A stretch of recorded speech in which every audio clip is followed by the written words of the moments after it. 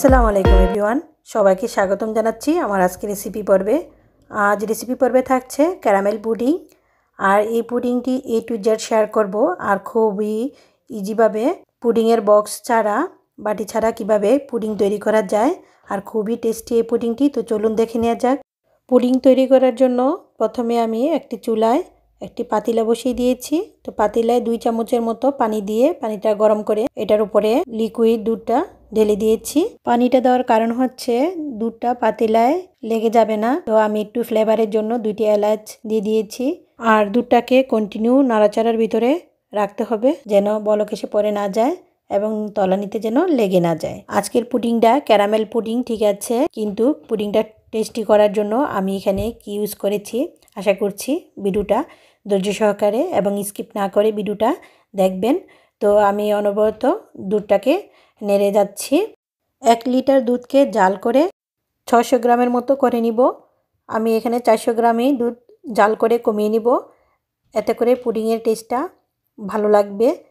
কিছুক্ষণ জাল করার পর মানে কয়েকটি বলক আসার পর, আমি এখন দুধে অ্যাড করে দিচ্ছি চিনি। আমি এখানে হাফ কাপ চিনি ইউজ করছি।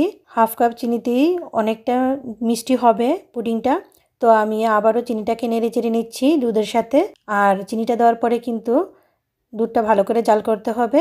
এই দুধটা কিন্তু অনেকটা ঘন হয়ে এসেছে। আমি এখন এলাচগুলা উঠিয়ে ফেলব। দুধটা জাল করার পরে ছয়শো গ্রাম হয়ে গেছে।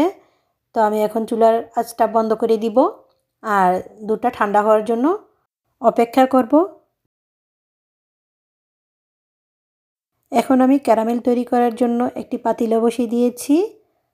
আর দিয়ে দিচ্ছি এক চা চামচ ঘি, এটা খাঁটি ঘি দিয়েছি, হাতের খাঁটি ঘি, এতে করে ফ্লেভারটা অনেক সুন্দর আসে। কেউ চাইলে পানি দিয়েও কিন্তু ক্যারামেলটা তৈরি করা যায়, কিন্তু ঘি দিয়ে করলে ক্যারামেলটা থেকে সুন্দর একটা ফ্লেভার আসে। তো আমি এখানে অ্যাড করে দিয়েছি দুই টেবিল চামচ চিনি। চিনিটা দিয়ে একটু নেড়ে চেড়ে তারপরে আমি সামান্য পরিমাণে পানি দিয়ে দিয়েছি।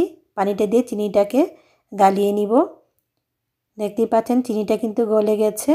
তো আমি যে কাজটা করে নিচ্ছি, আমি পুডিংয়ের বক্স ছাড়া কিন্তু আমি আজকে পুডিংটা তৈরি করব। আমি একটি বিস্কিটের বক্স নিয়েছি। এটাতে আমি যে চিনিটা গালিয়ে নিয়েছিলাম, আমি ঢেলে দিয়েছি। আর কীভাবে আমি ক্যারামেলটা তৈরি করে নিচ্ছি, দেখতেই পাচ্ছেন কীভাবে কালারটা হচ্ছে। তো এরকম করে কিন্তু কালারটা তৈরি করতে হবে। এর চেয়ে বেশি হলে কিন্তু ক্যারামেলটা থেকে তিতা তিতা ভাব আসবে।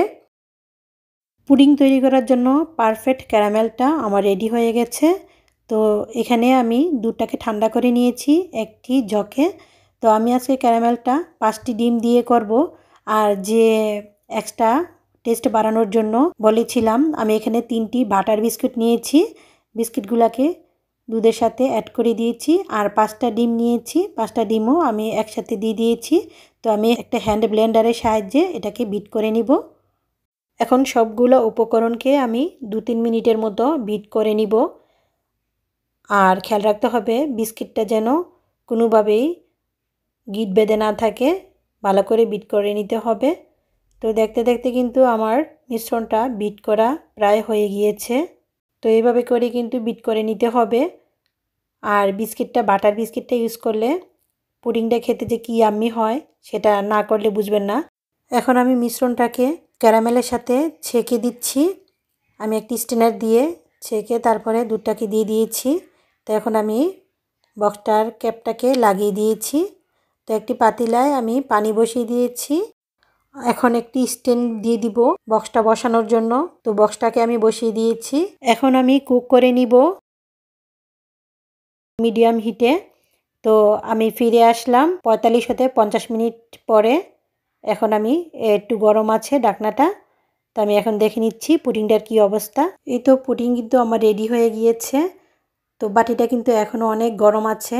দেখে বোঝা যাচ্ছে যে ভাপ উঠছে বাটিটার থেকে। তো পুডিংটাকে আমি ফ্রিজে রেখে দিয়েছিলাম। এখন ফ্রিজ থেকে আমি নামিয়েছি। আর এটাই হচ্ছে আমার পুডিং তৈরির এ টু জেড শেয়ার করা। আমি এখানে আরেকটি ক্যারামেল ছাড়া পুডিং তৈরি করেছি। পুডিংয়ের বক্সে দেওয়ার পরে আর একটু মিশ্রণ বাকি ছিল। এটাকে আমি ক্যারামেল ছাড়া তৈরি করেছি। একটা বাটিতে দিয়ে আবার আরেক সময় এটাকে শেয়ার করে নিব আপনাদের সাথে।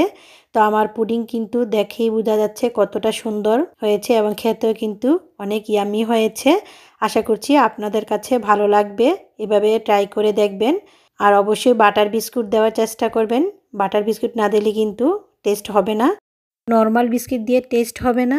আর বিস্কিটটা দেওয়ার কারণে কিন্তু পুডিংটা খুবই সহজে তাড়াতাড়ি হয়ে গেছে।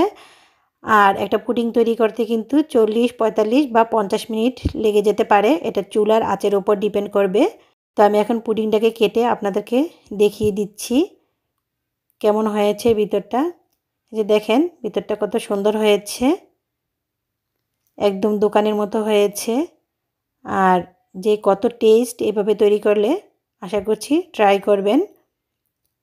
তো বিওয়ার্স সবাই ভালো থাকেন, সুস্থ থাকেন, নিরাপদে থাকেন। আবারও দেখা হয়ে যাবে নতুন কোনো রেসিপি নিয়ে। আসসালামু আলাইকুম।